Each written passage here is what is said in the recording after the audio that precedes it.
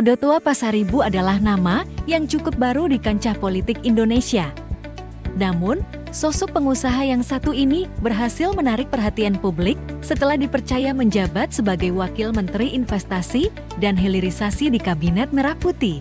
Pria kelahiran 14 Januari tahun 1980 ini bertugas mendampingi Rosan Ruslani yang merupakan Menteri Investasi dan Hilirisasi Kepala BKPM. Todotua Pasaribu memiliki latar belakang pendidikan sebagai lulusan sarjana teknik dari Universitas Trisakti tahun 1998 hingga tahun 2003. Pada saat kuliah, ia dikenal aktif dalam kegiatan organisasi dan menjabat sebagai Ketua Himpunan Mahasiswa Teknik Industri periode tahun 2001 sampai tahun 2003. Perjalanan karirnya ia mulai dari tahun 2005, ia menjadi manajer operasional di PT Jagat Energi selama 4 tahun hingga tahun 2009.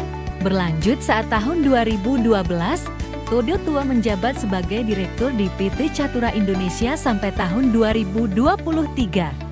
Dengan latar belakang yang kuat di dunia bisnis, Todo Tua diharapkan mampu membawa angin segar dalam upaya pemerintah untuk menarik investasi dan mendorong hilirisasi industri di Indonesia. Penunjukan Todo Tua Pasaribu sebagai Wakil Menteri Investasi dan Hilirisasi menjadi bukti bahwa pemerintah serius dalam upaya meningkatkan investasi dan mendorong hilirisasi industri dengan pengalaman dan jaringan yang luas.